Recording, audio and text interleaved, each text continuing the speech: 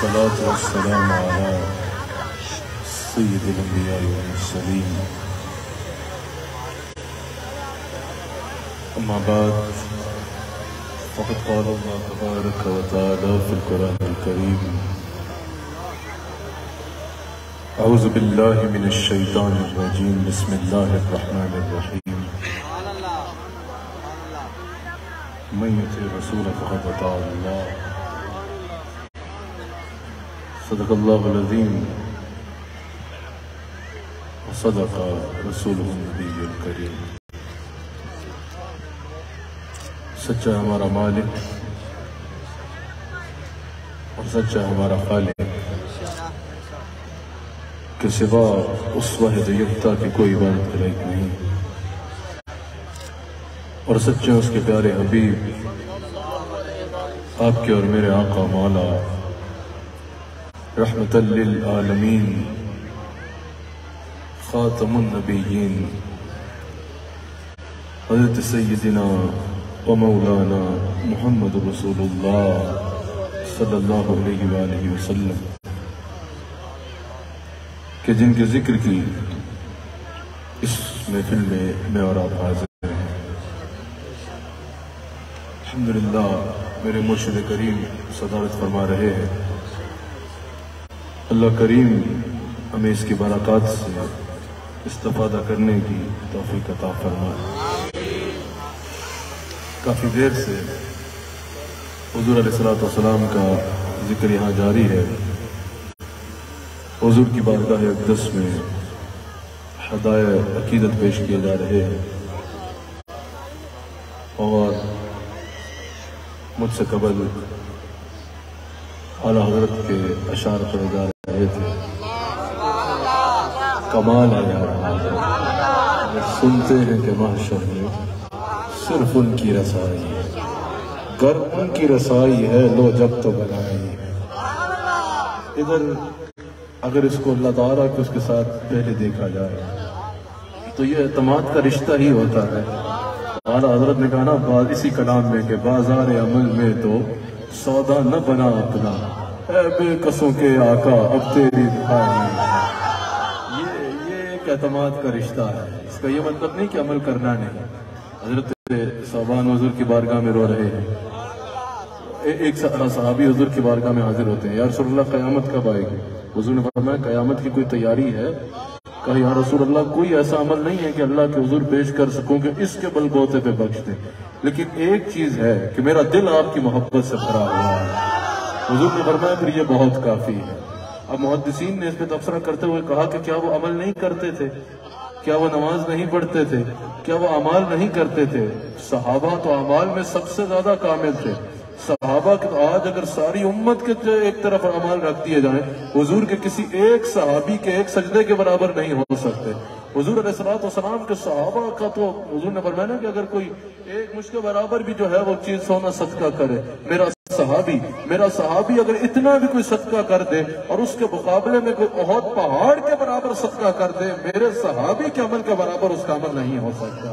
تو حضور علیہ السلام کے صحابہ تو عمال کرنے میں سب سے آگے تھے عمال کرنے میں سب سے آگے تھے۔ لیکن محدثین کہہ رہے ہیں کہ یہاں یہ نہیں کہہ رہے کہ یا رسول اللہ، قیامت کے دن نماز کے بل بوتے پہ بخشا جاؤں گا۔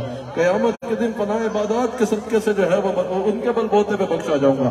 عمال کے ہونے کے باوجود جو مان ہے اور ناز ہے وہ عمال پہ نہیں کر رہے، وہ نسبت مصطفیٰ پہ کر رہے ہیں۔ اسی طرح یہاں حضرت کہہ رہے ہیں، گر ان کی رسائی ہے، وہ جب تو بنائی، وہ حضرت ابو ہے نا ایک صحابی حضور کی بارگاہ میں حاضر ہوئے۔ یا رسول اللہ صلی اللہ علیہ وسلم، قیامت کب آئے گی؟ حضور علیہ السلام نے فرمایا، ایک صحابی حاضر ہوئے یا رسول اللہ، قیامت کے دن حساب کون لے گا؟ حضور نے فرمایا، اللہ۔ یا رسول اللہ، پھر بتائیے گا قیامت کے دن حساب کون لے گا؟ حضور نے فرمایا، اللہ۔ حضور پھر فرمائیے گا، یہ قیامت کے دن حساب کس نے لینا ہے؟ حضور نے فرمایا، اللہ۔ وہ اٹھا، کہا، یا رسول اللہ، اگر اللہ حساب لے گا تو میں بخشا جاؤں۔ گا آتا ہے کہ اس نے ایک سانس لیا اور ایک سانس میں جتنی بار کہہ سکتا تھا نا، کہا کہ اگر اللہ حساب لے گا تو میں بخشا جاؤں گا، بخشا جاؤں گا، بخشا جاؤں گا۔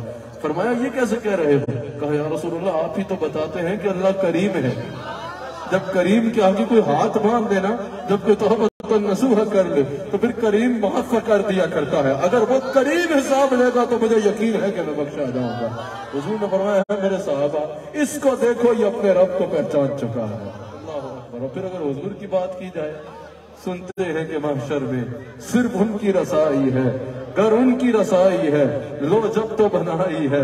بازار عمل میں تو سودا نہ بنا اپنا۔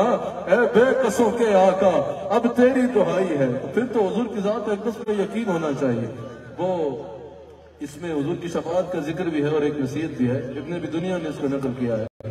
حضور علیہ السلام السلام فرماتے ہیں کہ قیامت کا دن ہوگا تو حضرت آدم علیہ السلام مجھے آواز لگائیں گے۔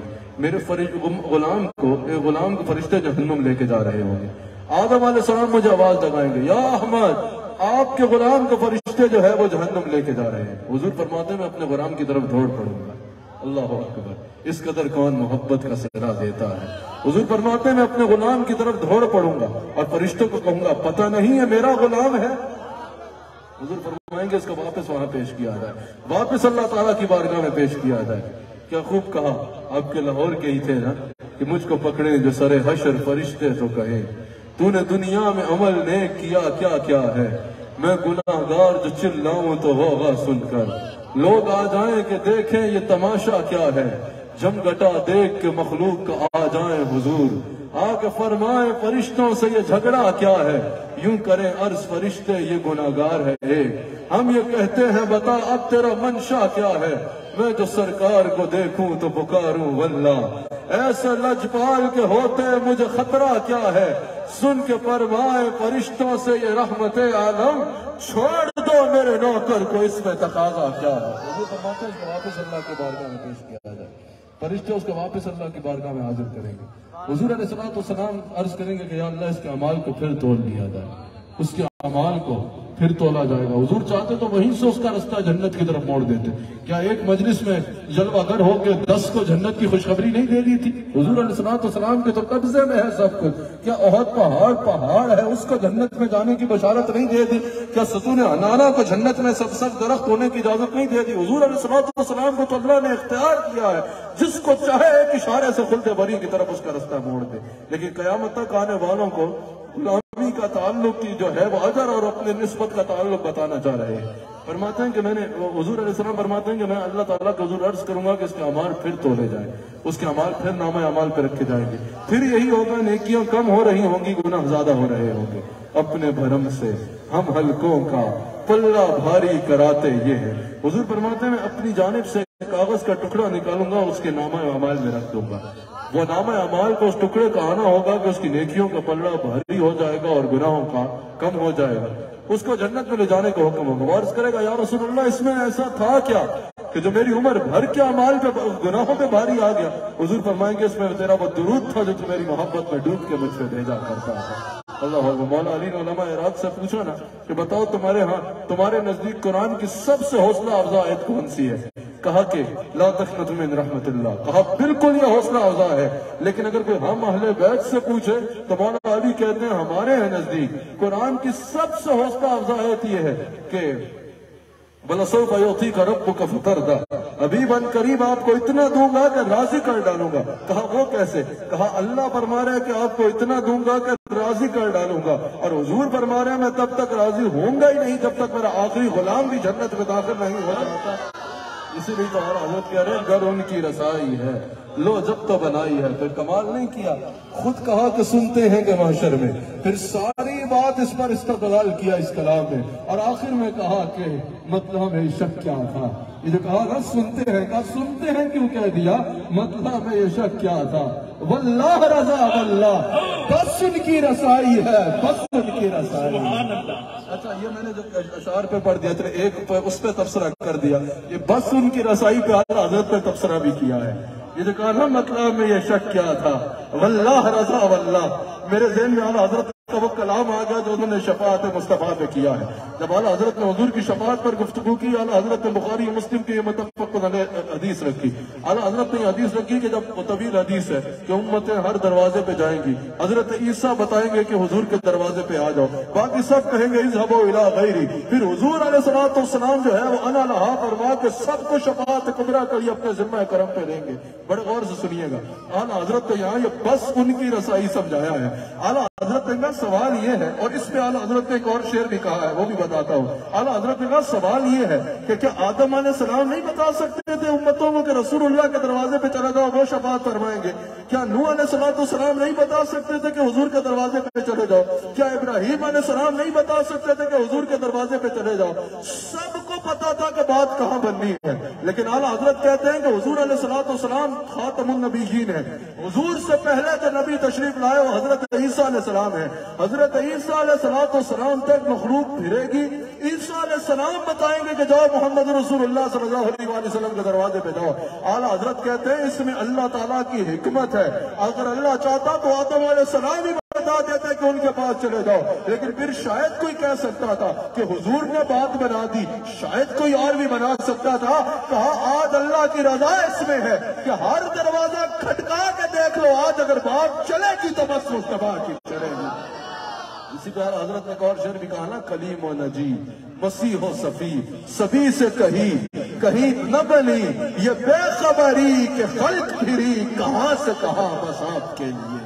اللہ اکبر، کیا بات ہے میرے مصطفیٰ علیہ السلام کی؟ اور یقیناً اصل میں اعلیٰ حضرت کا کلام جب ہم سنتے ہیں تو ہمیں کچھ زیادہ مزہ آ جاتا ہے۔ اعلیٰ حضرت کے ساتھ ہمیں حضور کی نسبت کی بنیاد پہ خاص محبت ہے۔ اس لیے میں نے اس پہ تھوڑا سی بات کر دی۔ یاد رکھیے گا، حضور علیہ السلام والسلام سے محبت کرنا بے حد ضروری ہے۔ حضور سے تعلق قائم کرنا بے حد ضروری ہے۔ حضور علیہ السلام والسلام سے غلامی کا رشتہ قائم کرنا یہ بے حد ضروری ہے۔ لیکن سوال یہ ہے کہ حضور علیہ السلام والسلام کی غلامی کہتے کس کو ہے؟ حضور علیہ السلام والسلام سے محبت کہتے کس کو ہے؟ کیا حضور علیہ السلام والسلام کی محبت آپ نے اتنا سستا سودا سمجھا ہے کہ بس دو اشعار پڑھ کے اس کا حق ادا ہو جائے گا؟ یا سال میں ایک مرتبہ محفل نعت کروا کے اس کا حق ادا ہو جائے گا؟ یا سال میں ایک مرتبہ کسی محفل میں شرکت کر کے یا ربی الاول میں بس گھر سجا کے اس کا حق ادا ہو جائے گا؟ یہ سب کچھ کا انکار نہیں ہے۔ یہ سب کچھ محبت کے اظہار کے لیے ضروری ہے۔ یہ سب کچھ اظہار محبت کا بہترین طریقہ ہے۔ یہ سب کچھ اہل سنت کے شعار میں شامل ہے حضور علیہ السلام والسلام سے محبت کا ایسا اظہار کرنا۔ لیکن صرف یہ محبت نہیں ہے۔ محبت کا اولن تقاضا یہ ہے کہ وہ کیا جائے جو حضور نے کرنے کو کہا۔ اللہ تعالیٰ نے جب حضور علیہ السلام والسلام کے مقاصد بیست کا ذکر فرمایا نا، تو ایک اہم ترین مقصد کا ذکر فرماتے ہوئے اللہ کریم نے ارشاد فرمایا۔ ان کے مقاصد بیست کا ایک اہم ترین مقصد یہ ہے کہ ان کی اطاعت کی جائے۔ جو یہ کہہ رہے ہیں وہ کیا جائے، ان کی تباہ بھی کی جائے اور جس سے یہ روک رہے ہیں اس سے رک جایا جائے۔ ویسے تو کائنات بنی حضور کی خاطر ہے، لیکن حضور کے مقاصد بیست میں اللہ نے یہ بتایا کہ تاکہ ان کی اطاعت کی جائے، ان کی بات کو مانا جائے۔ اب رسول اللہ علیہ صلاح سے محبت کرنے والوں، اس بات پر غور کرنا ہے۔ حضور علیہ صلاح والسلام سے محبت صرف حضور کو ماننا نہیں ہے، بلکہ حضور کی ماننا محبت ہے۔ اگر کوئی کہے، بھائی ہم حضور کو سب کچھ مانتے ہیں، لیکن حضور کی ایک نہیں مانتے تو یہ کیسی محبت ہے؟ یہ کیسا ادب ہے؟ ویسے تو آپ سر بھی جھکائیں گے، ویسے تو آپ حضور کا اس میں گرامی سن کے سینے پہ ہاتھ بھی رکھیں، ویسے تو انگوٹھے بھی چوم لیں۔ یہ سب کچھ کرنا بہت اچھا ہے، لیکن جب حضور علیہ صلاح والسلام کی بات ماننے پہ آئے، جب آپ کو کوئی بتائے کہ یہ کرنے کا رسول اللہ علیہ صلاح والسلام نے حکم فرمایا اور اس سے رکنے کا رسول اللہ علیہ السلام نے حکم فرمایا، اس وقت آپ ایک بات ماننے کو تیار نہ ہو تو کیا یہ محبت ہوگی؟ پھر اپنی محبت کے تقاضے کی طرف غور کرنا ہوگا۔ حضور علیہ السلام والسلام سے اگر محبت کرتے ہو، تو اس کا اہم ترین تقاضا یہ ہے کہ جیسے حضور کو مانتے ہو، ویسے حضور کی بھی مانو۔ کہا، بھائی غلامی یہ رسول میں موت بھی قبول ہے. میں نے کہا، بہت اچھی بات ہے، بہت اچھا جذبہ ہے، یہ جذبہ رکھنا ایمان کے لیے ضروری ہے کہ ہمارا سب کچھ رسول اللہ علیہ صلاحت والسلام پہ قربان ہے، ہماری جان بھی حضور پہ قربان، ہمارا مال بھی حضور پہ قربان، ہماری اولاد بھی حضور پہ قربان، بہت اچھا نعرہ ہے۔ اور یہ جذبہ رکھنا بہت ضروری بھی ہے کہ ہمارا سب کچھ حضور علیہ صلاح والسلام پہ قربان ہو۔ لیکن سوال یہ ہے کہ حضور علیہ صلاح والسلام کے نام پر جان قربان کرنے کی بات تو کر رہے ہو۔ یہ تو کہہ رہے ہو کہ غلامی رسول میں موت بھی قبول ہے۔ لیکن سوال یہ ہے، زندگی ویسے گزارنا قبول پہلے کیوں نہیں ہے؟ جیسے حضور علیہ صلاح والسلام نے گزارنے کو کہا، اگر غلامی رسول میں موت قبول ہے، تو غلامی رسول میں نماز قبول کیوں نہیں ہے؟ اگر غلامی رسول میں موت قبول ہے، تو غلامی رسول میں حضور کی سنت قبول کیوں نہیں ہے؟ اگر غلامی رسول میں موت قبول ہے، تو غلامی رسول میں حضور کے بتائے ہوئے رستے پہ زندگی گزارنا قبول کیوں نہیں ہے؟ میں نے کہا اس کا انکار نہیں کہ یہ جذبہ رکھا جائے۔ یہ جذبہ رکھنا صرف اچھا ہی نہیں کہ بلکہ یہ جذبہ رکھنا ضروری ہے کہ ہماری جان بھی رسول اللہ علیہ السلام پہ قربان۔ لیکن صرف موت کو قبول نہیں کرنا، بلکہ رسول اللہ علیہ السلام کی غلامی میں زندگی بھی ان چیزوں کو قبول کرنا ہے جو حضور علیہ السلام نے کرنے کو کہا۔ تب حضور علیہ السلام سے غلامی کا رشتہ قائم ہوگا۔ حضور علیہ السلام نے خود ارشاد فرمایا۔ آج کوئی بس کہتے ہیں کہ بھئی ہمارا تو دل ہم ایسے شعر بھی سننے کو آتے ہیں۔ اسی لیے ہم کہتے ہیں، اگر کلام پڑھنا ہے تو امام محمد رضا خان بریلوی کا پڑھو۔ اگر کلام پڑھنا ہے تو مولانا عبد الرحمان جامی کا پڑھو۔ یا اس دور میں بھی اگر کلام پڑھنا ہے تو کلام پڑھنے والا عالم دین ہو لکھنے والا عالم دین ہو۔ اور اگر اگر عالم دین نہیں بھی ہے تو شریعت سے واقف ہو۔ ایک حرف بھی جو ہے وہ ایسا نہ ہو کہ حضور کی ہی بات کی نہ فرمانی ایسے بھائی کہ ہمارا تو دل جو ہے وہ گناہوں پہ بالکل مطمئن ہے۔ ہم نے تو گناہوں پہ ہمیں کوئی بشمانی نہیں ہے۔ ہم تو گناہ بھی اس لیے کرتے ہیں۔ گناہ بھی اس لیے کرتے ہیں تاکہ جو ہے وہ آگے ہمارے لیے شفاعت ہے، ہمیں کوئی نہیں۔ یہ بات کرنا کہ ہم حضور کی نافرمانی کرتے ہیں حضور کی شفاعت کے لیے، یہ بات کرنا کہاں سے آپ لے کے آئے ہیں؟ رسول اللہ علیہ السلام نے جو فرمایا کہ میری شفاعت میری امت کے بڑے مجرموں کے لیے ہے، اس سے یہ مراد تو نہیں ہے کہ آپ بڑے مجرم بن جاؤ تو آپ کو شفاعت ملے گی۔ اس سے یہ مراد ہے کہ کوئی جتنا بڑا مجرم بھی کیوں نہ ہوا؟ جب ایک بار صد کے دل سے توبہ کر کے میرے دروازے پہ آ گیا، میری شفاعت کو مانگ لیا، پچھلے گناہ بھی بخشواؤں گا اور بتقاض بشریت جو غلطیاں ہوں گی، ان کو بھی بخشواؤں گا۔ یہ کیسا طریقہ ہے کہ ایک نعت خواہ کھڑا ہو؟ میں نے کہا جو اچھے نعت پڑھتے ہیں، ابھی دو نے میرے سامنے پڑھی، بڑے ذوق سے سنا، بڑے اچھے طریقے سے سن لیا۔ جو اچھے طریقے سے نعت پڑھتے ہیں، آداب کے مطابق پڑھتے ہیں، اچھے انداز میں آما محمد رضا جیسے کلام پڑھتے ہیں، شریعت کے مطابق پڑھتے ہیں، شریعت کے مطابق رہتے ہیں اور حضور علیہ السلام کی محبت دل میں بڑھانے والا ادب کا انداز اپناتے ہیں، ان کو ہم سنتے بھی ہیں، سن کے خوش بھی ہوتے ہیں۔ لیکن اگر آپ کو کڑے ہو کے ایک منٹ میں بس جنت کی ٹکٹ دے کے بولے کہ اب جو دل آئے کر لو، ایسا آپ کوئی آپ کو عمل کرنے کی ضرورت نہیں ہے۔ اور بھائی، جہاں حضور مبشر ہے، وہاں حضور نظیر بھی ہے۔ جب شباب کی باتیں مناتے ہیں، بتاتے ہیں تو تم خوش ہوتے ہو۔ جب عذاب کی باتیں بتا دیں یا انجام کی باتیں بتا دیں تو کہتے ہو یہ مولویوں کی باتیں ہیں۔ عشق والوں کی باتیں نہیں ہے مولوی یہ بات خود کہیں سے لے کے آئے ہیں۔ یا جہاں حضور مبشر ہے وہاں حضور نظیر بھی ہے جہاں شفاعت کے بارے میں حضور نے فرمایا، وہاں ناپروانوں کو عذاب کے بارے میں بھی کسی اور نے نہیں بتایا، حضور علیہ السلام نے یہ بتایا۔ ہے آپ اس وقت مت رہیے گا کہ آپ جان بوجھ کے حضور کی نافرمانی کرتے رہے، جان بوجھ کے حضور کی سنت کو چھوڑتے رہے، جان بوجھ کے حضور کی شریعت کو چھوڑ دے۔ حضور علیہ السلام کی ہر بات کا انکار کرے اور پھر صرف دو شعر میں آپ جھوم کے کہیں کہ ہم نے جو ہے کسی نے پوچھنا ہی نہیں ہے، رضوان جنت ہمیں ڈھونڈ رہا ہوگا کہ اس کو جنت میں لے کے جانا ہے، ایسا نہیں ہے۔ یہ سب کچھ ہوگا لیکن تب ہوگا جب کمپلیٹ سبمیشن دو گے ذات مصطفیٰ کو۔ اپنی پوری زندگی حضور کے نام کرو گے اور وہ کرو گے تو حضور نے کرنے کو کہا۔ پھر وہ وقت آئے گا کہ رضا پل سے اب وجد کرتے گزریے کہ ہے ربی سلم سزائے محمد۔ پھر وہ وقت آئے گا کہ خوف نہ رکھ رضا ذرا۔ تو تو ہے عبد مصطفیٰ۔ اس کا اس مطلب میں کبھی بھی ایسے نہیں سننا کہ حضور کی نافرمانی کر رہا ہے انسان، شریعت کو چھوڑ رہا ہے۔ اللہ کی ایک نہیں مان رہا، حضور کی ایک بات نہیں مان رہا۔ اور پھر میں پہلے نات جھوم جھوم کے کہہ رہا ہے، خوف نہ رکھ رضا ذرا، تو تو ہے عبد مصطفیٰ نہیں، عبد مصطفیٰ وہ ہے جو پکا حضور کا بندہ ہوگا. جیسے اعلیٰ حضرت نے بھی بتایا اور دیگر صوفیاء نے بھی بتایا کہ ہر بات حضور کی مانے گا، حضور کا کہا نہیں ڈالے گا، وہ کرے گا جو حضور نے کرنے کو کہا، اس سے رک جائے گا جس سے حضور نے روکا، وہ ہوگا حضور کا بندہ، وہ ہوگا عبد مصطفیٰ، وہ قیامت کے دل وجد کرتے کرتے پورے سرات سے کہتا گزرے گا کہ تو خوف نہ رکھ رضا ذرا۔ تو تو ہے عبد مصطفیٰ، تیرے امان ہے، تیرے لیے امان ہے۔ ان کا کہاں مانگا حضور علیہ السلام کا کہاں مانے بغیر ممکن نہیں حضور نے فرمایا، جس نے میری سنت سے محبت کی، اس نے مجھ سے محبت کی۔ اور جس نے مجھ سے محبت کی جنت میں میں اس کو ساتھ لے کے جاؤں گا۔ حضور علیہ السلام نے واضح ارشاد فرما دیا اس بات کو غور سے سن لیجیے گا۔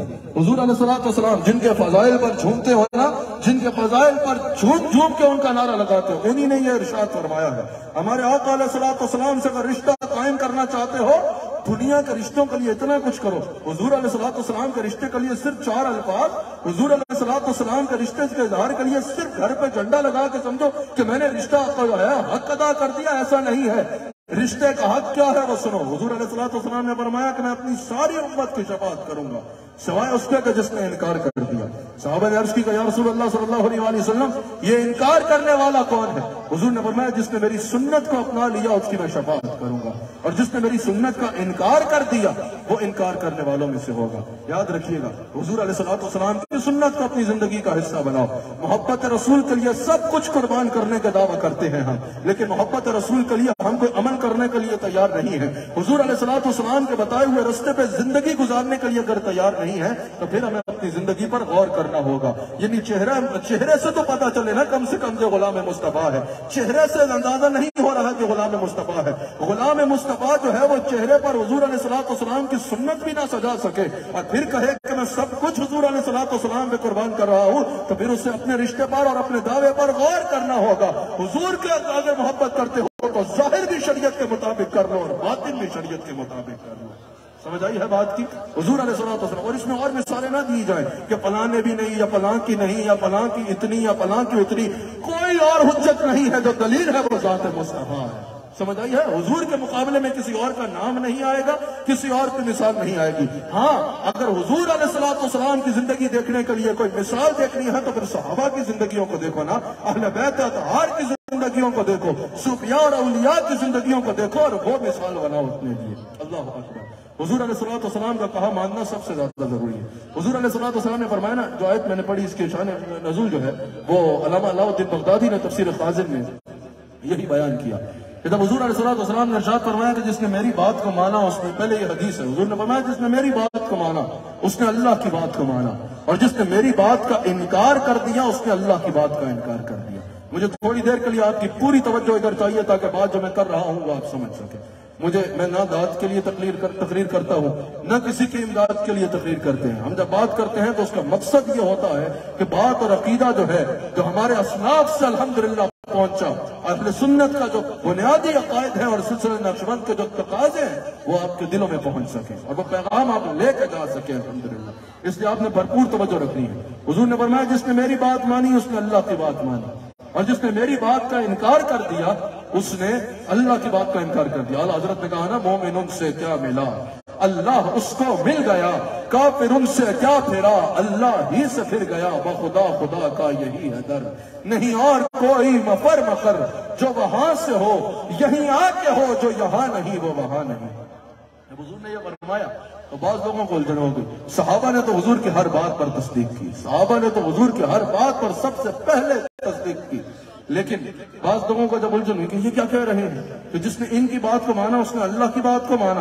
اور جس نے ان کی بات کا انکار کر دیا، اس نے اللہ کی بات کا انکار کر دیا۔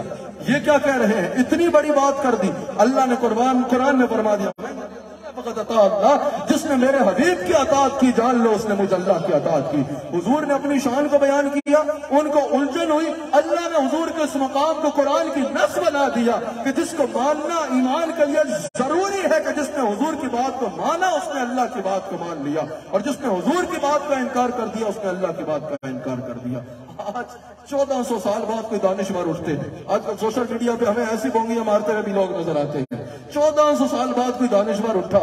اور کہا کہ بھئی حضور کی حدیث کی کوئی ضرورت نہیں ہے، قرآن ہی کافی ہے۔ قرآن میں ہی سارا علم کا خزانہ موجود ہے۔ قرآن ہی صرف ہدایت کا نور ہے۔ حضور کا فرمان کی ضرورت نہیں ہے۔ برکت کے لیے حضور کی حدیث ٹھیک ہے سن لو، لیکن حضور علیہ السلام والسلام کی حدیث کا یا حضور کا فرمان جو ہے وہ کوئی اتنا ضروری نہیں ہے۔ وہ اصل نہیں ہے دین کی۔ بس قرآن میں ہی سارا علم کا خزانہ موجود ہے، حضور کی حدیث کی ضرورت نہیں ہے۔ او بھائی، رسول اللہ علیہ السلام والسلام کی حدیث کی تم کہہ رہے ہو ضرورت نہیں ہے۔ حضور علیہ السلام والسلام کی حدیث کا انکار کر رہے ہو۔ پہلے یہ سنو کہ اس بات کا کس نے انکار کیا ہے کہ سب سے اتھینٹک قرآن ہے۔ اس بات کا کس نے انکار کیا ہے کہ سب سے زیادہ اہم قرآن ہے۔ اس بات کا کس نے انکار کیا ہے کہ سب سے بلند مقام قرآن کا ہے۔ لیکن قرآن کو ماننے کے لیے حدیث کا انکار کرنا تم کہاں سے لے آئے ہو؟ کون یہ کہتا ہے کہ حدیث کا درجہ جو ہے وہ قرآن سے اوپر ہے؟ قرآن سب سے اٹینٹک ہے۔ قرآن پر ایمان رکھنا سب سے ضروری ہے۔ حدیث کو ہم قرآن کا درجہ تو نہیں دیتے، لیکن آپ کس شرارت میں اتر رہے ہو کہ بھئی حضور کی حدیث جو ہے اس کو برکت کے لیے تو ٹھیک ہے، سن لو، رکھ لو، لیکن اس کا اصل دین کے ساتھ کوئی تعلق نہیں ہے۔ اس کے ساتھ جو ہے اس دین دوبارہ پختگی کے ساتھ اس کے اوپر اس کا ضرورت نہیں۔ مجھے یہ بتاؤ کہ تم کہتے ہو حضور کی حدیث کی ضرورت نہیں ہے۔ حضور کی حدیث کی اصل کیا ہے؟ میں تمہیں پوچھتا ہوں، تم حضور کی حدیث کے لیے دلیل مانگ رہے ہو کہ اس کی اصل کیا ہے؟ مجھے بتاؤ، سارے دلائل کا دار و مدار قرآن کے ساتھ ہے نا؟ ہاں ہاں ہاں سارا دلائل کا دار و مدار قرآن کے ساتھ ہے۔ میں نے کہا، قرآن کی دلیل کیا ہے؟ نہیں سمجھ رہے آپ قرآن یہ کہتا ہے، قرآن یہ کہتا ہے، قرآن یہ کہتا ہے، جب قرآن نازل ہوتا تھا تو کیا جبریل اعلان کرتے تھے کہ یہ قرآن ہے؟ ایک ہی زبان ہے نا بھائی، جس سے قرآن ادا ہو رہا ہے۔ ایک ہی زبان ہے جس سے حدیث قدسی ادا ہو رہی ہے۔ ایک ہی زبان ہے وہ زبان جس کو سب کل کی کنجی کہے۔ اس کی نافذ حکومت میں یہ پیسے نہ بات کو سنو وہ زبان جس کو سب کل کی کنجی کہے۔ اس کی نافذ حکومت میں لاکھوں سے اصل میں جب بہت اہم گفتگو ہو رہی ہو نا، تو پھر ہم اس لیے روک دیتے ہیں کیونکہ اس سے پھر لوگوں کی توجہ جو ہے، وہ بات کی طرف سے ہٹے نہیں۔ پوری بات سمجھ سکے لوگ۔ وہ زبان جس کو سب کل کی کنجی کہے، اس کی نافذ حکومت میں لاکھوں سلام ایک زبان ہے جس سے قرآن ادا ہو رہا ہے۔ ایک زبان ہے جس سے حدیث قدسی ادا ہو رہی ہے۔ ایک زبان ہے جس سے حدیث نبی ادا ہو رہی ہے۔ وہی زبان ہے جو اپنے گھر والوں سے بھی کلام کر رہی ہے۔ وہی زبان ہے جو چکا کر کبھی چلوا گر ہو بازار میں، تو وہاں کلام فرما رہے ہیں۔ اگر کوئی چیز خرید رہے ہیں، وہاں کلام فرما رہے ہیں۔ اب بڑے غور سے سننا۔ جو لوگ کہتے ہیں بھئی حدیث کی کوئی ضرورت نہیں۔ فقط قرآن سے ہی دلیل جائے، حدیث کو ہم نہیں مانتے۔ مجھے بتاؤ، اس میں فرق کون کرتا تھا کہ یہاں سے یہاں تک قرآن ہے اور یہاں سے آگے جو حضور فرمائیں گے، وہ حضور کا اپنا فرمان ہے؟ کیا جبریل اعلان کرتے تھے؟ نہیں۔ کیا قرآن خود بولتا تھا کہ یہاں تک قرآن ہے؟ آگے جو کچھ حضور فرمائیں گے، وہ حضور کا فرمان ہوگا؟ نہیں۔ حضور قرآن کی تلاوت کرتے تھے اور فرماتے تھے، یہ قرآن ہے۔ بس یہ قرآن کی دلیل ہے۔ باقی ہر چیزوں کے لیے، تمام چیزوں کے لیے بڑی دلیلیں ہو سکتی ہے قرآن کی بھری کائنات میں اس کے علاوہ کوئی اور دلیل نہیں ہے کہ حضور فرماتے تھے کہ یہ قرآن ہے۔ بتائیے، کیا صحابہ قرآن اترتے سنتے تھے؟ کیا صحابہ قرآن اترتے دیکھتے تھے قرآن کی اس کے علاوہ کوئی دلیل نہیں کہ حضور فرماتے تھے کہ یہ قرآن ہے۔ بتائیے یہ کہنا کہ یہ قرآن ہے، یہ کیا کہلائے گا؟ یہ حدیث نبی کہلائے گا۔ تم بات کرتے ہو، حدیث نبی کی ضرورت کیا ہے؟ قرآن کو قرآن ثابت کرنے کے لیے مصطفیٰ کی حدیث کی ضرورت ہے۔ نعرہ تکبیر۔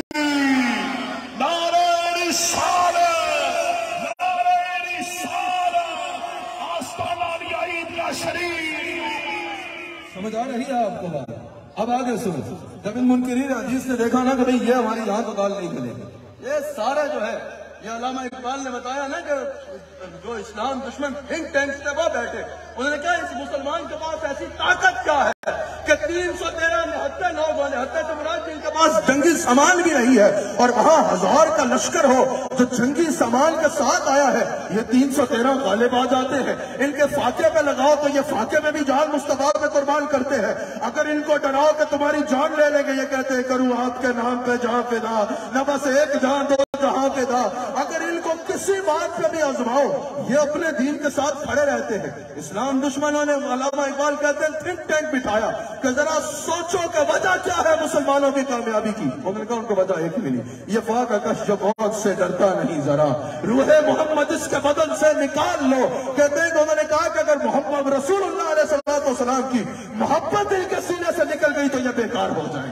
پھر انہوں نے ایسے بیچ میں لوگ چھوڑے کہ بھی حضور علیہ السلام والسلام کے فرمان کی کیا ضرورت ہے؟ جب ان کو جوتیاں مار کے بھگا دیا، کہ جاؤ یہ سودا کہیں اور جا کے بیچنا انہوں نے کہا، بھائی، یہاں تو دال نہیں کرے گی۔ مسلمانوں کو رسول اللہ علیہ السلام کی حدیث سے اور سنت سے اور عشق سے دور کرنا ممکن نہیں ہے۔ انہوں نے ایک نئی بات کہی۔ انہوں نے کہا، چند حدیثیں لے لی، باقی سب کا انکار کر دیا۔ جن سے جو ہے، ان کے اپنی بات نہیں ہو رہی، وہ حدیثیں قبول کر لی اور باقی ساری حدیثوں کا انکار کر دیا۔ کہا، نہیں، حضور علیہ السلام کی ہر حدیث ماننا ضروری ہے۔ حضور کا ہر فرمان ماننا ضروری ہے حضرت عبداللہ بن عمر رضی اللہ تعالیٰ کہتے ہیں کہ ایک صحابی وہ لکھتے رہتے تھے۔ حضور علیہ السلام جو ارشاد فرماتے وہ لکھ لیتے امام احمد بن حنبل نے اس پہ نقل کیا۔ جو اور ابو داؤد میں بھی موجود ہے جو حضور علیہ السلام ارشاد فرماتے وہ لکھتے رہتے۔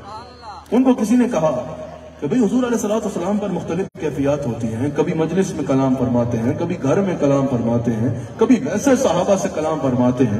تم ہر چیز لکھتے رہتے ہو، ہر بات نہ لکھا کرو۔ وہ کہتے ہیں، میں نے یہ سنا تو لکھنا چھوڑ دیا۔ حضور نے فرمایا کہ تم میری ہر بات لکھا کرتے تھے، اب لکھتے نہیں۔ کہا، یا رسول اللہ، لوگوں نے اس طرح کہا۔ حضور وہ فرماتے ہیں کہ حضور علیہ السلام نے اپنی زبان مبارک کی طرف اشارہ کیا اور کہا، یاد رکھنا، میں جو کہوں وہ لکھا کرو۔ اس زبان پہ حق کا سوا کچھ آتا ہی نہیں۔ اس زبان پہ حق کا سوا کچھ نہیں آتا۔ اللہ نے فرما دیا نا، وما ينطق الهوى۔ ان هو الا وحی یوحى یہ بات کوئی اپنی مرضی سے کرتے ہی نہیں ہے۔ یہ جو کہتے ہیں مجھ اللہ کی وحی ہوتا ہے یہ جو برباد ہے وہ مجھ اللہ کی وحی ہوتا ہے۔ حضور علیہ السلام ارشاد فرماتے ہیں سن لو، ابن ماجہ میں حدیث موجود ہے۔ جو کہتے ہیں نہیں حضور کی حدیث کی ضرورت نہیں ہے۔ حضور علیہ الصلوۃ والسلام نے ارشاد فرمایا، مجھے قرآن کے ساتھ ایک اور چیز دی گئی ہے۔ محدثین کہتے ہیں اس سے مراد سنت، اس سے مراد حضور کی حدیث ہے۔ حضور علیہ الصلوۃ والسلام نے فرمایا، میں ایک دیکھ رہا ہوں۔ قرب قیامت میں ایک شکم سیر آدمی ہے یعنی بڑے پیٹ والا آدمی ہے بڑے جسم والا آدمی ہے، وہ بیان کر رہا ہے اور وہ کہہ رہا ہے، قرآن یہ کہتا ہے، قرآن یہ کہتا ہے، سارا ہدایت صرف قرآن میں ہی ہے۔ یعنی اس کا مزاج یہ ہے اس کی بات میں مدعا یہ ہے کہ حضور کی حدیث کا انکار کر دیا گیا حضور علیہ السلام والسلام فرماتے ہیں، یاد رکھنا، جس کو میں حرام کر دوں وہ ایسے ہی ہے جیسے اس کو اللہ حرام کر رہا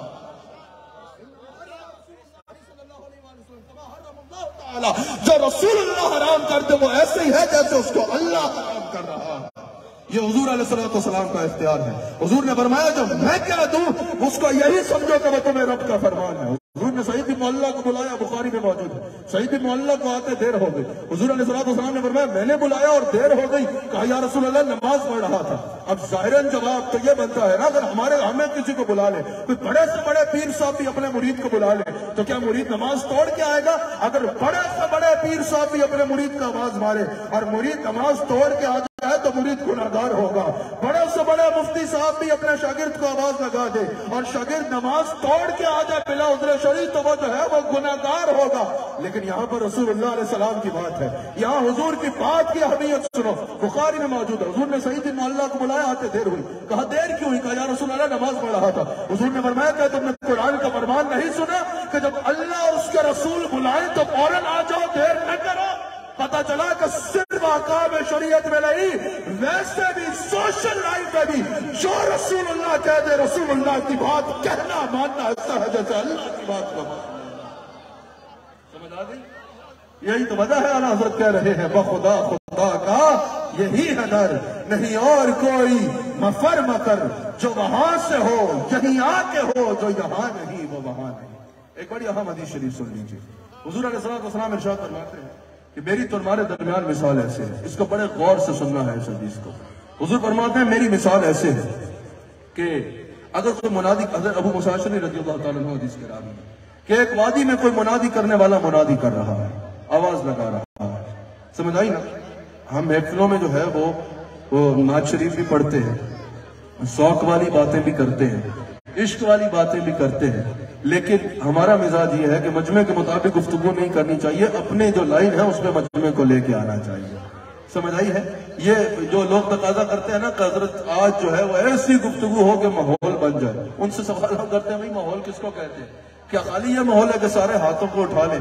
پھر تو بس ایک بار ہاتھ اٹھا لیں، سارے ماحول بن گیا، بیٹھ جائیں۔ ماحول صرف یہ نہیں ہے۔ ماحول یہ ہے کہ لوگوں کی زندگی کا ماحول بدل جائے۔ لوگوں کی زندگی تبدیل ہو جائے، لوگوں کی زندگی حضور کی سنت کے مطابق ہو جائے۔ سمجھ آ گئی نا سب سے بڑا ماحول وہ ہے کہ جس میں کوئی نہ بولے لیکن سب کا دل جو ہے وہ بدلتا نظر آ حضور علیہ السلام والسلام کی جب محفل پہ آتے ہو، یہ نہیں کہ کوئی اگر اصلاحی بات ہو جائے، کوئی حضور علیہ السلام والسلام کے بتائے ہوئے اعمال پر بات کرے تو بعض لوگ بولے، نہیں بھی آج جو ہے وہ نہیں آیا، تو آپ نے کام کرنا ہی نہیں ہے۔ آپ نے اس طرف آنا ہی نہیں ہے۔ آپ آج جھومنے کے لیے آئے ہو، جھوم کے چلے جاؤ۔ یہ کوئی محفل سرور تو نہیں ہے۔ یہ حضور علیہ السلام والسلام کے ذکر کی محفل ہے۔ اس میں دلوں کو بدلا جاتا ہے کیفیات کو بدلا جاتا ہے، زندگی کو بدلا جاتا ہے۔ ان محفلوں میں آنا صرف یہ مقصد نہیں ہے کہ ناتواں کی سر سے جو ہے وہ آپ محدود ہو کے چلے جائیں۔ ان محفلوں میں آنے کا مقصد یہ ہے کہ عقیدہ مضبوط ہو۔ ان محفلوں میں آنے کا مقصد یہ ہے کہ حضور سے رشتہ مضبوط ہو۔ اور حضور سے رشتہ کیسے مضبوط ہوگا؟ جب عقیدہ بھی پکا ہوگا اور عمال میں عمل میں بھی انسان جو ہے وہ حضور کی سنت پر عمل کرتا ہوگا۔ بڑے غور سے اس حدیث کو سن لیجیے۔ ابو موسیٰ عشری رضی اللہ تعالیٰ عنہ اس حدیث کے راوی ہے رسول اللہ علیہ السلام نے ارشاد فرمایا، حضور فرماتے ہیں کہ میری مثال تمہارے درمیان ایسے ہے۔ جیسے کوئی منادی کرنے والا، حضور کی مثال تو کوئی ہے ہی نہیں۔ یعنی حضور علیہ السلام والسلام اپنے مقاصد بیست کا بیان فرما رہے ہیں اور اپنی تعلیمات کی اہمیت کو بیان فرماتے ہوئے ارشاد فرما رہے ہیں۔ حضور فرماتے ہیں، میری مثال تمہارے درمیان ایسے ہے۔ جیسے کوئی یعنی میری اور تعلیمات کی مثال ایسے ہے تمہارے درمیان کہ جیسے کوئی کسی علاقے میں منادی کرنے والا جائے اور وہاں جا کے منادی کرے، آواز لگائے کہ صبح ایک لشکر تم پہ حملہ آور ہونے والا ہے۔ پناہ پکڑ لو۔ یہ بچے یا چپ ہو جائیں یا ان کو رستہ باہر کا محبت سے کوئی بتا دے۔ حضور علیہ السلام والسلام نے فرمایا کہ میری مثال، میری تعلیمات کی ایسے ہے جیسے ایک علاقے میں کوئی منادی کرے، آواز لگائے کہ صبح ایک لشکر حملہ آور ہو رہا ہے، اس سے پناہ پکڑ لو۔ بچ جاؤ، کہیں جا کے چھپ جاؤ۔ اگر وہ صبح لشکر حملہ آور ہو گیا اور تم نے پناہ نہ پکڑی تو سب برباد ہو جاؤ۔ حضور فرماتے ہیں، پھر ایسا ہوتا ہے، کچھ لوگ پناہ پکڑ لیتے ہیں۔ اور کچھ لوگ اس منادی کرنے والی بات کو سنا سنا کر دیتے ہیں۔ حضور علیہ السلام والسلام فرماتے ہیں، صبح لشکر حملہ آور ہوتا ہے۔ جو چھپ گئے تھے وہ بچ جاتے ہیں اور جو اس کی بات کو سنا سنا کر گئے تھے وہ سب برباد ہو جاتے ہیں۔ حضور نے فرمایا، میری تعلیمات کی مثال بالکل ایسے ہے جو میں کہہ رہا ہوں، جس نے اس پہ عمل کر لیا۔ دنیا میں بھی بچ جائے گا اور آخرت میں بھی عذاب سے نجات پا جائے گا۔ آخرت میں بھی خیر اس کا مقدر بنے گی۔ اور جس نے میری بات کو سنا سنا کر دیا، دنیا میں بھی اس کے لیے گویا کہ بربادی ہوگی اور آخرت میں بھی بربادی ہوگی۔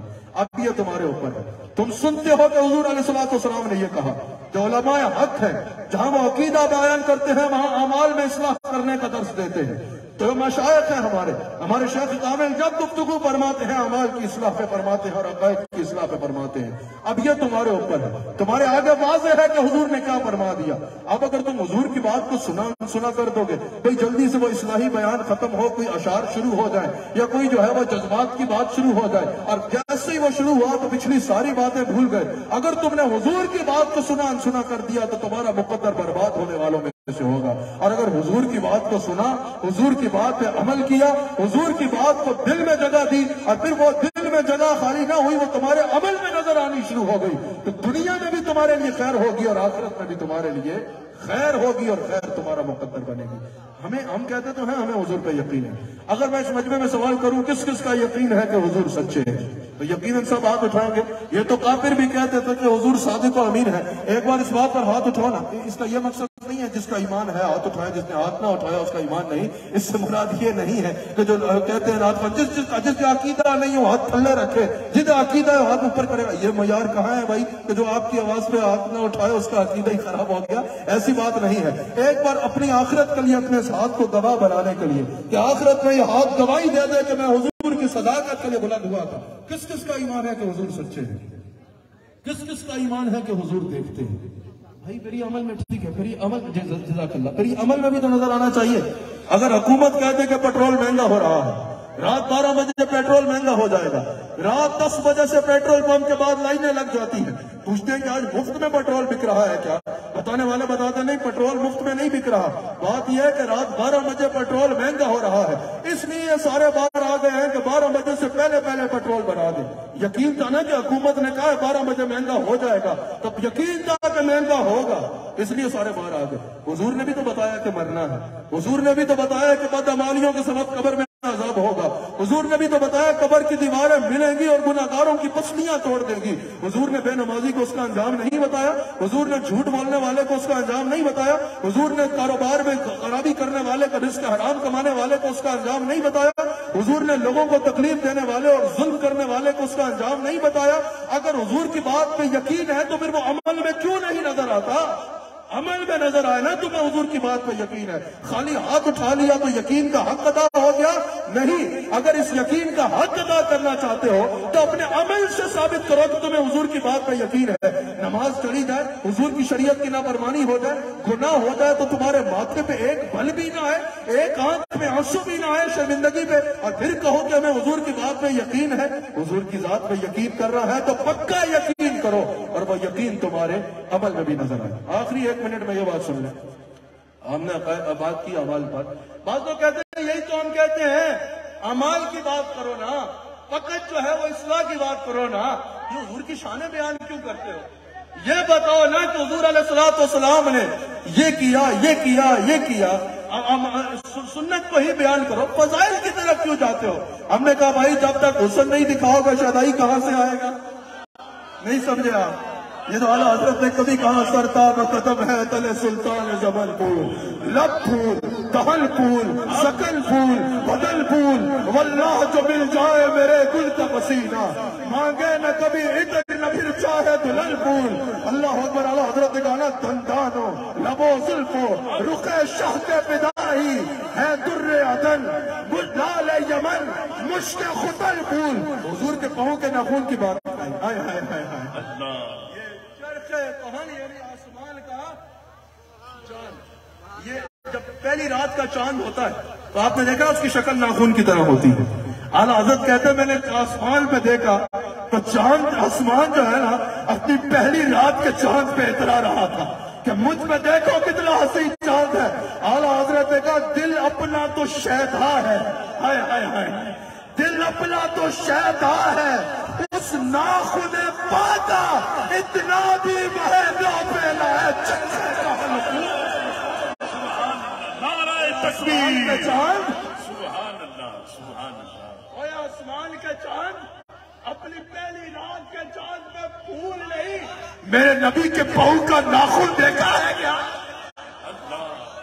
کیا بات رضا کیا بات۔ کیا بات رضا؟ کیا بات رضا؟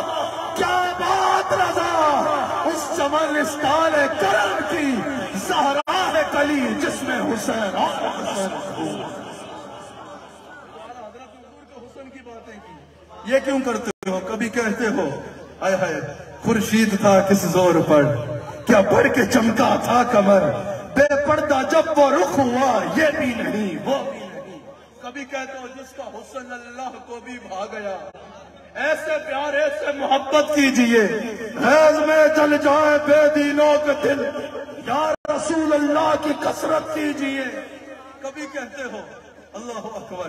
حضور علیہ السلام کے حسن کو بیان کرتے چلے جاتے ہیں۔ اس کی کیا ضرورت ہے؟ یہ فضائل بیان کرنے کی کیا ضرورت ہے؟ حال حضرت نے کہا، ہم نے تو کچھ کیا ہی نہیں۔ کوئی چار آج باتیں کر لینا تو سمجھتا میں نے بہت بڑا جو ہے دین کے لیے کام کر دیا۔ ساری زندگی اعلیٰ حضرت نے حضور کی صنع کی۔ آخر میں بندہ تھک ہار کے نہیں بیٹھ جاتا۔ اعلیٰ حضرت آخر میں تھک ہار کے بیٹھتے کہتے میں تو کچھ کیتا ہی نہیں۔ اے رضا، خود صاحب قرآن مدہ حضور۔ تجھ سے کب ممکن ہے پھر مدد رسول اللہ کا تعالی حضرت کا ایک انداز مجھے بڑا خوبصورت لگتا ہے۔ ساری زندگی حضور کی شان بیان کرنے کے بعد نا، آخر میں بندہ سوچ میں گم نہیں بیٹھ جاتا۔ سرور کہوں کہ مالک و مولا کہوں تجھے۔ بھاگا خلیل کا گل زیبا کہوں تجھے۔ یا رسول اللہ تیرے تو بس ہے بے تلاہی سے ہے بری۔ ہے راہو میرے شاہ، میں کیا کیا کہوں تجھے؟ حضور کا جسم پہ لگ اللہ رے تیرے جسم منور کی تابش ہے اے جان اے جان، میں جانے تجلا کہوں تجھے۔ کہہ دے کہ سب تیرے سناخا کی خاموشی۔ چپ ہو رہا ہوں، کہہ کے میں کیا کیا کہوں تجھے۔ آخر میں قلم توڑ دیا، لیکن رضا نے ختم سخل، اس میں کر دیا۔ خالق کا بندہ، خلق کا آقا کا الجھن ہو جاتی ہے تکلیف ہو جاتی ہے۔ بھائی، سیرت کو بیان کرو نا۔ یہ فضائل کیوں بیان کرتے ہو؟ میں نے کہا، بھائی، اگر ہم خالی یہ بتائیں جو تم جو تم جس طرح صرف بتاتے ہو، اگر ہم خالی یہ بتائیں کہ بھائی، حضور علیہ السلام والسلام کی عاجزی کا یہ عالم تھا کہ اپنے نالین کو اپنے ہاتھوں سے مرمت فرما لیتے تھے، تو اگلا کہہ سکتا ہے، بھائی، ہمارے محلے میں کئی لوگ ایسے ہیں جو اپنی جو جوتی ہے، اس کو خود مرمت کر لیتے ہیں۔ یہ اس بات سے درس کیا مل رہا ہے؟ اس کو سمجھ نہیں آئے گی۔ لاہور والوں جب یہ بتاؤ گے نا کہ انگلی میں طاقت اتنی تھی کہ ایک اشارہ کر کے چاند توڑ دیتے، پھر بھی عجزی ایسی تھی کہ نالین کو ہاتھ سے مرمت کرواتے تھے پھر اس کو پتا چلے گا۔ لا سیرت ہے کیا؟ سبحان اللہ اللہ۔ خود دین کی تبلیغ کے لیے چلے جاتے تھے، وہ بولیں گے ہمارے پاس کتنے لوگ ہیں جو تبلیغ کے لیے چلے جاتے ہیں؟ اس میں کون جو جب یہ بتاؤ گے، یہ ذات وہ ہے جن کا مسجد اقصا میں کم و بیش ایک لاکھ چوبیس ہزار انبیاء استقبال کرتے ہیں۔ ساتوں آسمانوں پہ جن کا استقبال ہوتا ہے، لا مکان کا جن کو مکی بنایا جاتا ہے۔ پھر سیرت بتاؤ گے تو لوگوں کو سمجھ آئے گی خالی یہ بتاؤ چٹائی پہ آرام فرماتے تھے اور جس میں مبارک پہ چٹائی کے نشان لگ جاتے تھے، اگلے کو کیا سمجھ آئے گا؟ جب یہ بتاؤ کہ شب معراج لا مکان کے مکی ہوئے، جب یہ بتاؤ کہ رب رب ان کی سواری ہے، جب یہ بتاؤ کہ براق خدمت کے لیے حاضر رہتا ہے، لیکن پھر بھی چٹائی پہ سوچ کے سوچ آرام فرماتے تھے، پھر پتہ چلے گا کہ سیرت کس کے بیان ہو رہی ہے۔ جب تک حسن کا نہیں بتاؤ تو شدائی کہاں سے آئے گا؟ سمجھ آئی یا نہیں آئی۔ خالی یہ بتاؤ تو بھائی پاکے کرتے تھے۔ اگلا بولے گا بھائی ہمارے محلے میں کئی لوگ ہیں جو پاکے کرتے ہیں۔ ان کے پاس کھانے کو کچھ نہیں ہوتا تو فاقے کرتے ہیں۔ جب یہ بتاؤ گے کہ حضور فرماتے ہیں، جب میں تمہارے درمیان نہیں کھاتا، تمہارے درمیان نہیں پیتا، میرا رب مجھے پھر اپنے ہاتھوں سے کھلاتا ہے اور جیسے اس کی شان کے لائق ہے، ویسے اپنے ہاتھوں سے پلاتا ہے، تب پتا چلے گا لا قیمت کیا ہے؟ خالی یہ بتاؤ کبھی کچھ نہیں کھاتے تھے۔ ہے، اگر یہ بتا دو گے کہ بالتے تھے۔ کچھ نہیں کھاتے تھے۔ پھر کسی کو پتا کیا لگ رہا ہے کس کی بات کر رہے ہو؟ وہ بولے گا، میرے پاس بھی کچھ نہیں ہوتا تو کچھ نہیں کھاتا۔ جب یہ بتاؤ گے، اختیار اتنا تھا کہ بخاری بتا رہی ہے۔ حضرت جابر نے ایک بکری کا بچہ ذبح کیا جو چار بندوں کے لیے بھی کافی نہیں تھا۔ حضور نے اس میں اپنا تھوک مبارک، اپنا لوہا میں دہن ڈالا۔ ایک تھالڈیا سے ایک ہزار کے قریب صحابہ نے کھایا۔ ختم نہیں ہوا تب پتا چلے گا نا آج بھی یہ ہے۔ نعرہ تکبیر نعرہ رسالت آقا ہمارے بڑی شان والے آقا ہمارے آقا ہمارے سبحان اللہ کہا بھئی یہ سنی سیرت کا بیان نہیں کرتے۔ یعنی میں نے کہا تم نے پتہ نہیں کس کو دیکھ لیا ہے۔ جو سیرت کا بیان نہیں کرتا، اگر سنی کو دیکھنا ہے تو احمد رضا خان بریلوی کو دیکھو۔ اگر سنی سنی کو دیکھنا ہے تو مجدد الفسانی کو دیکھو۔ اگر سنی کو دیکھنا ہے تو خواجہ عبد الکریم کو دیکھو۔ اگر سنی کو دیکھنا ہے تو داتا علی حجویری کو دیکھو۔ ہم کوئی دو سو سال پرانی پیداوار تو نہیں ہے۔ اگر سنی کو دیکھنا ہے تو غوث اعظم کو دیکھو۔ کوئی کسر بچے تو پھر ہم سے پوچھنا کہ ہمارے حضرات نے کون سی سائڈ چھوڑی۔ کہا سنی سیرت بیان نہیں کرتے۔ میں نے کہا بھائی سنی سیرت بیان کرتے ہیں، لیکن تمہاری طرح سنی صرف یہ بیان نہیں کرتے کہ کئی کئی دن فاتح فرماتے تھے۔ سنی پہلے یہ بتاتے ہیں کہ اختیار اتنا تھا کہ بخاری بتا رہی ہے، حضرت جابر کہتے ہیں، ہمارے پاس پانی ختم ہو گیا، حضور کے پاس گئے، حضور نے اپنا دست مبارک ایک پیالے میں ڈالا، پانی سے پیالہ بھر گیا، پندرہ سو صحابہ نے پانی پیا پانی ختم نہ ہوا۔ ابو ہریرہ کہتے، ایک دودھ کا جام حضور نے مجھے دیا۔ ستر صحابہ لے کیوں جناب ابو ہریرہ؟ کیسا تھا وہ جامع شیر جامع شیر جس سے ستر صاحبوں کا دودھ سے منہ بھر گیا۔ سنی پہلے یہ بتاتے ہیں، اختیار کا یہ علم تھا، پھر یہ بتاتے ہیں، آج بھی ایسی تھی کہ کئی کئی دل باتیں کیا کرتے ہیں۔ اللہ ہمیں عقیدہ اہل سنت پہ قائم رکھے۔ یہ ساتھ آپ کو اس لیے بتایا، صرف یہ نہیں کہ عمل کی طرف چلے جاؤ، عقیدہ چھوڑ دو۔ عمال نامہ عمال میں تب مرتب ہوں گے جب عقیدہ پکا ہوگا۔ عقیدہ بھی پکا کرنا ہے، عمل بھی پکا کرنا ہے۔ جو عقیدے اور عمل میں کامل ہو، اس کو سنی کہا جاتا ہے۔ اللہ تعالی ہم سب کو رسول اللہ علیہ وسلم کا وفادار رکھے۔ نمک حلال۔ میرے شیخ کا حکم ہے کہ دو اشعار پڑھ لیے جائیں۔ تو دو اشعار آپ میرے ساتھ پڑھ لیجیے گا۔ تو ایک اعلان سماعت کر لیں گے انشاءاللہ سترہ مارچ کو بروز جمعہ، جزاک اللہ۔ بس سترہ مارچ، بروز جمعہ صبح کے وقت انشاءاللہ۔ رائے ونڈ ریلوے گراؤنڈ میں۔ سالانہ عظیم الشان انشاءاللہ۔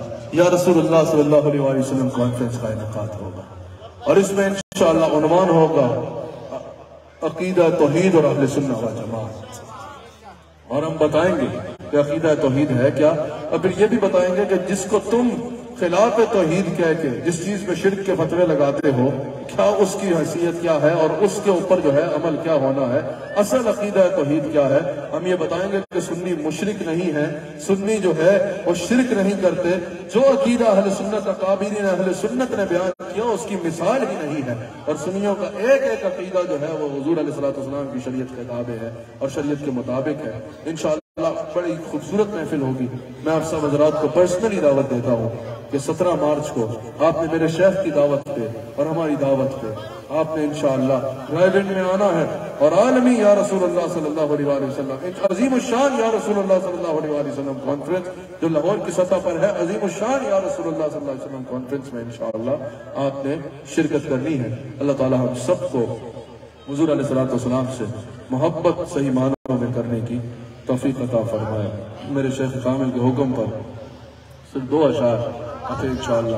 ہمارے شیخ کامل جو ہے وہ ارشادات فرمائیں گے دعا فرمائیں گے۔ اب سب حضرات میں جو ہے اس میں شریک ہونا ہے۔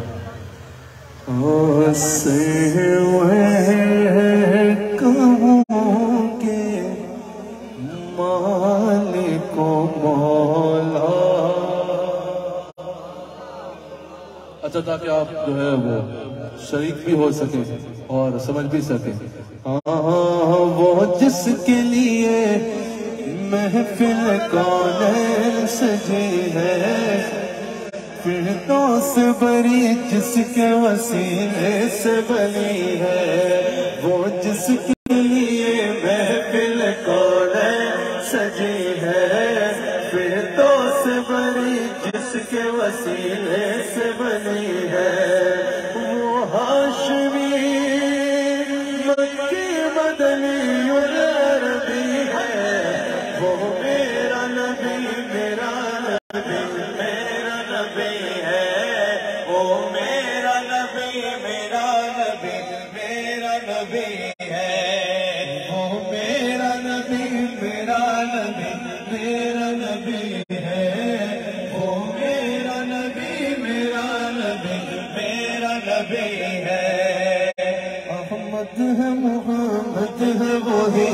ختم رسل ہے۔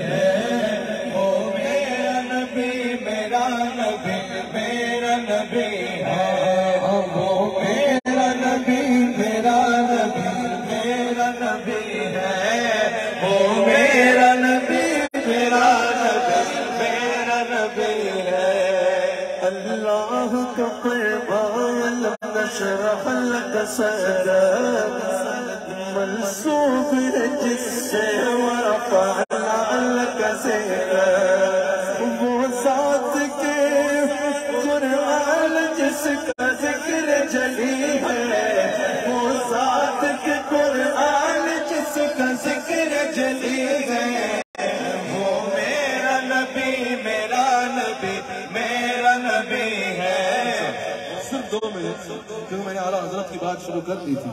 اعلیٰ حضرت کا ایک شعر۔ تو دو باتیں سن لیجیے آپ نے حضور کے حسن کا ڈسٹرب ہو رہا ہوں۔ حضور کے تصدق رسول جو ہے اچھے آدمی ہیں اور بہت ماشاءاللہ اچھی نعت پڑھتے ہیں۔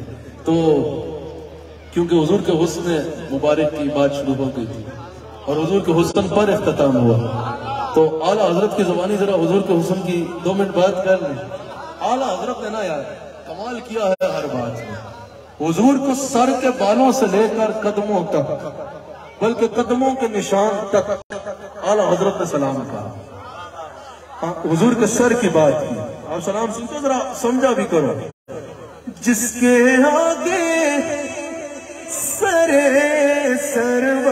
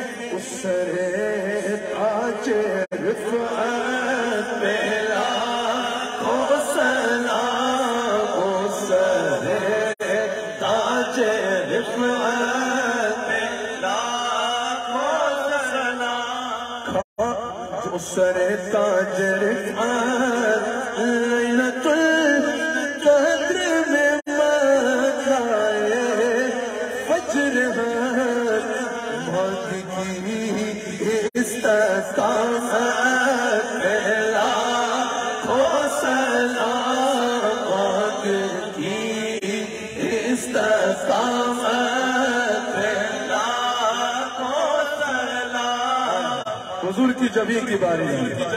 جس کے ماتھے شفاعت کا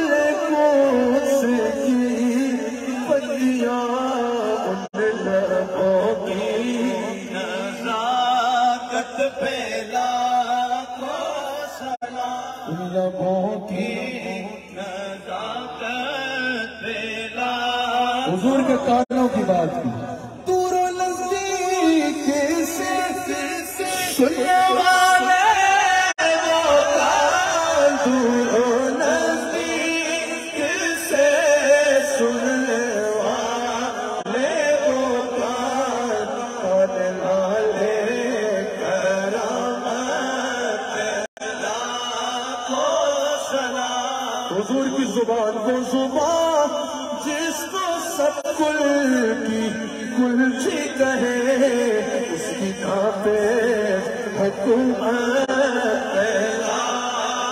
حضور کا دہل، وہ دہل جس کی ہر بات، وہی خدا، چشمہ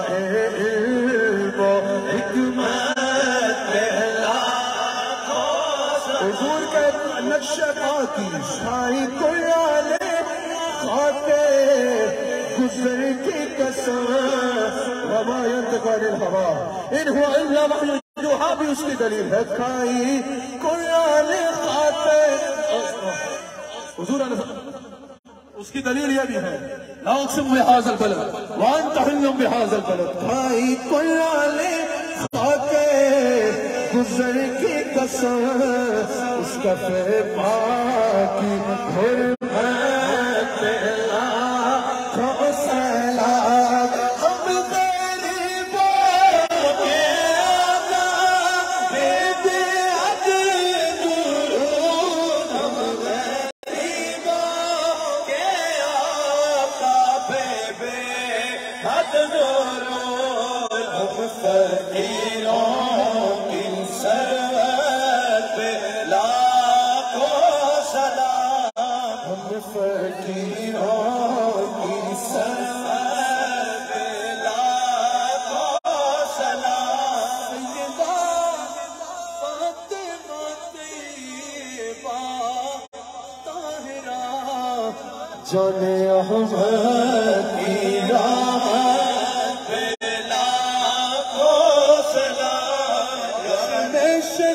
شر میں جبل کی آمد اور بھیجے سبل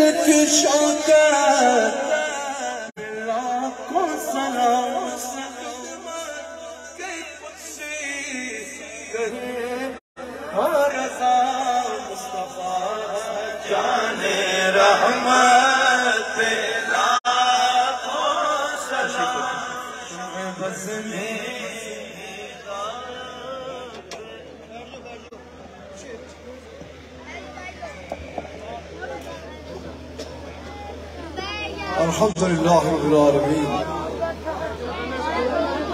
والصلاة والسلام على حبيبه. سيدنا ونبينا ومولانا وحبيبنا. وملجانا ومأوانا وراحة قلوبنا وسرور أبداننا والشوق في يوم محشرنا. وضعف بلائنا وضعف بلائنا وضعف بلائنا. ومن جانا وواكلنا بنظر الله محمد وآله وأصحابه أجمعين واللهم محمد رسول الله صلى الله عليه وآله وسلم على المؤمنين والمؤمنات والمسلمين والمسلمات.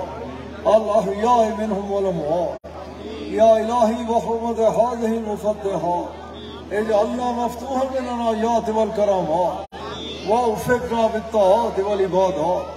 يا إلهي افرزنا من الآفات والبليات وباركنا في الرزق والعمر والمال والأولاد والأجساد والأحسانات ربنا واجعل لنا من لدنك وليا. ربنا واجعل لنا من لدنك نصيرا. نسألك العفو والعافية والمعافاة الدائمة في الدين والدنيا والآخرة والفوز بالجنة والنجاة من النار. ربنا آتنا في الدنيا حسنة وفي الآخرة حسنة وقنا عذاب النار وقنا عذاب القبر وقنا عذاب الحشر وقنا عذاب الميزان. ربنا آتك رقابنا ورقاب آبائنا وأمهاتنا من النيران. ربنا احي لنا من أمرنا رشدا. ربنا احي لنا من أمرنا رفقا. ربنا احي لنا من أمرنا مرفقا. آتنا ونياتنا أنت وليي في الدنيا والآخرة. أنت حميمي في الدنيا والآخرة. أنت رفيقي في الدنيا والآخرة اللهم قد غرقنا بوهم السياح لكن وجاء بفضلك وحبيبك الحال أنكما توجهاننا من الطرقات السفلى والنيران اللهم ارزقنا حبك وحب نبيك الحال وحب من حبك وحب نبيك الحال. ولا تخيبنا ببابك يا حكم الحاكمين اللهم احسن عاقبتنا في الامور كلها واجرنا من خزي الدنيا وعذاب الاخره اللهم ارزقنا الجنه وغير حساب. اے کریم کرم فرما. اپنے حبیب صلی اللہ علیہ وآلہ وسلم دا صدقہ کرم فرما. قبلہ صاحب دی چہار جانب تو حفاظت فرما. انہاں کی آسدین دے حسد، شریرہ دے شر، منافقین دی منافقت ساہرہ دے سہر اور ہر قسم دی بری نظر تو محفوظ رہا۔ صوبان صاحب دی حفاظت فرما۔ عیدگاہ دی حفاظت فرما۔ عیدگاہ دی جسمانی اولاد دی حفاظت فرما۔ عیدگاہ دی روحانی اولاد دی حفاظت فرما۔ عیدگاہ دی روحانی اولاد اس علاقے دی روحانی اولاد نے جس خوبصورتی دے نال اس خوبصورت محفل میلاد پاک کی سجایا اے کریم انہاں دے مقدرہ کی سجا دا۔ اے کریم اپنے حبیب علیہ والسلام نے صدقے جتنے حاضر ہیں سب تے اپنے فضل و کرم دی بارش نازل فرما دین اور دنیا اچ کامیابی عطا فرما اے کریم اپنی رحمتاں دے تمام دروازے اسا سارے دے اوتے کھول دا ہر خیر دے نال اسا سب کی نواز، ہر شرط کو اسا سب کی بچا اپنے اور اپنے پیارے حبیب علیہ الصلوۃ والسلام دی سچی، پکی اور پختہ محبت عطا فرما۔ ایمان دی سلامتی عطا فرما۔ ایمان والی زندگی عطا فرما۔ ایمان والی موت عطا فرما۔ شہادت کی موت عطا فرما جتنے حاضر ہیں سب کی جائز خواہشات قبول فرما دین اور دنیا کامیابی عطا فرما اے کریم پاکستان دی حفاظت فرما عالم اسلام دی حفاظت فرما اپنی کل مخلوق دی خیر فرما سب کا تعلق مدینہ پاک نہ جوڑ دے۔ سب کی مدینہ پاک دی حاضری نصیب فرما اللہم عز الاسلام والمسلمین۔ اللہم انت حافظنا۔ انت ناصرنا انت حادینا انت راشدنا انت دلیلنا انت ولینا فرحم علینا ولا تعذبنا بذنوبنا، ولا تبتلينا بذنوبنا، ولا تسلط علينا الظالمين بذنوبنا وكفر عنا سيئاتنا وهب لنا من لدنك الرحمة إنك أنت الوهاب أنت الوهاب اے کریم جس طرح قبلہ صاحب خطا فرما رہے سن اسا سب کی عقائد دی پختگی عطا فرما۔ اپنے حبیب علیہ الصلوۃ والسلام دی سچی پکی اور محبت غرق ہو کے آپ دی تے کی توفیق عطا فرما۔ آپ دی تے۔ اے کریم اپنے حبیب علیہ والسلام دے سب کی اپنی اور اپنے پیارے حبیب علیہ والسلام دی اطاعت عطا فرما۔ اے کریم کرم فرما احسان فرما۔ ایسا سب کی سچا پکا ایسا کھرا سنی بنا سنی بنا کہ جس کی دیکھ کے مدینہ پاک دی یاد آ اللہ الله علی خیر خلقی و نور عرشه محمد و آلہ و اصحابہ۔